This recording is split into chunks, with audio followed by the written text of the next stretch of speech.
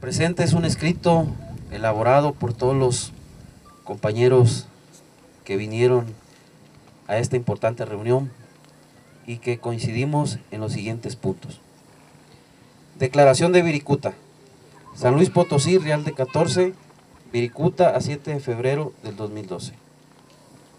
Los hermanos y hermanas provenientes de los estados de Durango, Jalisco y Nayarit, de los centros ceremoniales y comunidades siguientes, Santa Catarina, Pochotita, Las Latas, San Sebastián, San Andrés Coamiata, Ocota de la Sierra, Tuxpan de Bolaños, Las Guayabas, Coamiata, El Ciruelillo, Guadalupe Ocotán, El Nayar, Tepic, Zitacua, Cerro de los Tigres, Santiago Iscuintla, Mesa de Nuevo Valey, Bancos de Calitique, Bancos de San Hipólito, Puerto de Guamúchil, Mezquital Durango.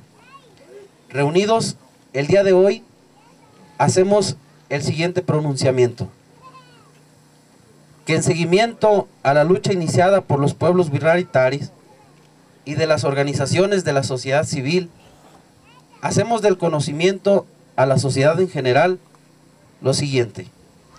Primero, que tomando en consideración que los sitios sagrados que nos han legado nuestros ancestros, los hemos seguido caminando por la ruta de los cuatro puntos cardinales. Es por ello que de manera respetuosa y pacífica estamos defendiendo lo que para nosotros es nuestra esencia en la vida. Segundo, que a partir de esta ceremonia realizada por los pueblos presentes, se crearon más lazos espirituales que fortalecen nuestro camino hacia el respeto de la diversidad cultural. Tercero, reafirmamos que el conocimiento ancestral heredado por nuestros padres y mayores es un legado para la humanidad y el mundo. Cuarto, los sitios sagrados para el pueblo virrárica son la escuela de formación espiritual. Y por ello, en el momento en que se realizan proyectos que causan daños en nuestro entorno, ese día entristecen nuestros corazones y muere nuestro ser.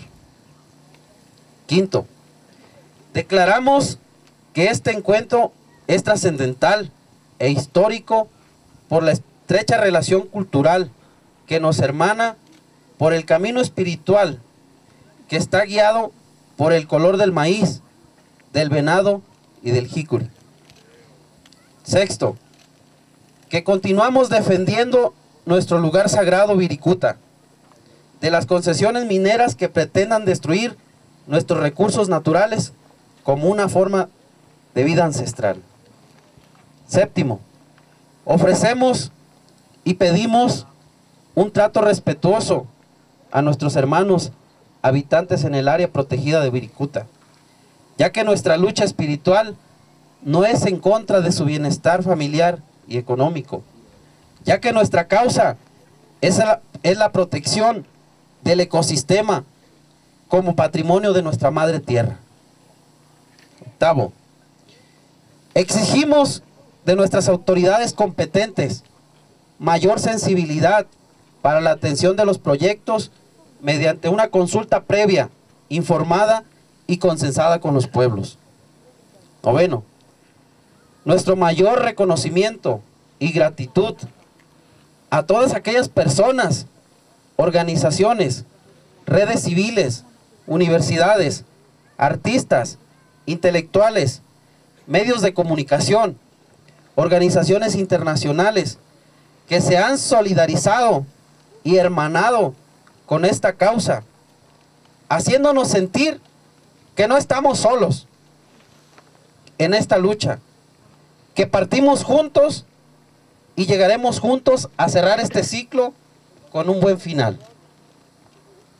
Décimo, hacemos saber a la opinión pública que el pueblo virrárica se encuentra unido, en pie de lucha espiritual, que no permitiremos que muera nuestra herencia cultural y como consecuencia nuestra convivencia con nuestros ancestros y de la madre tierra. Pan Parius, muchas gracias.